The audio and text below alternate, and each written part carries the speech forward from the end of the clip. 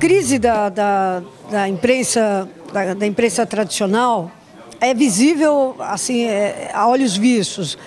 Para não dizer que ela é visível a olhos vistos, é, porque os jornais ficaram fininhos, porque diminuiu é, o número de anunciantes e tal. A gente, toda semana, a gente recebe notícias de grandes demissões dentro dos jornais, dentro das revistas e tal.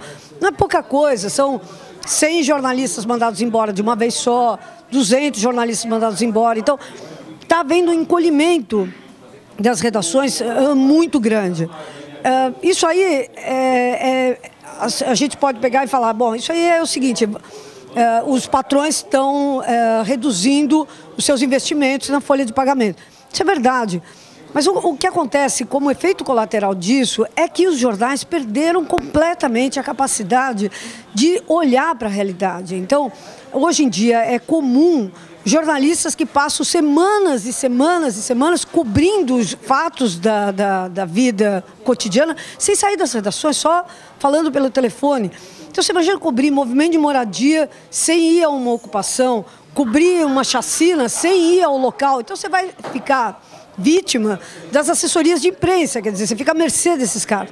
Então, essa é uma, uma coisa que está acontecendo agora que mostra que não é só que eles estão perdendo a. Estão economizando, eles estão perdendo a capacidade de representar as pessoas. E a gente, em 2013, ouviu isso, essa reclamação dos, das pessoas que estavam nas ruas se manifestando, que era essa coisa, essa imprensa não me representa, a Rede Globo não me representa, a Folha de São Paulo não me representa e tal.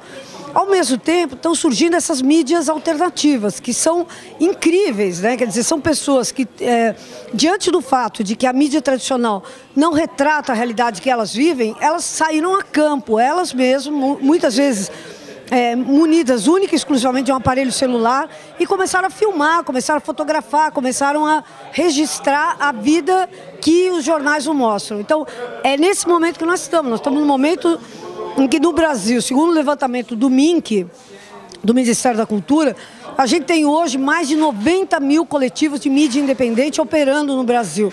É uma enormidade e a gente precisa agora pôr esses coletivos todos em contato para que a gente possa cruzar as experiências todas que estão ocorrendo do ponto de vista das novas narrativas.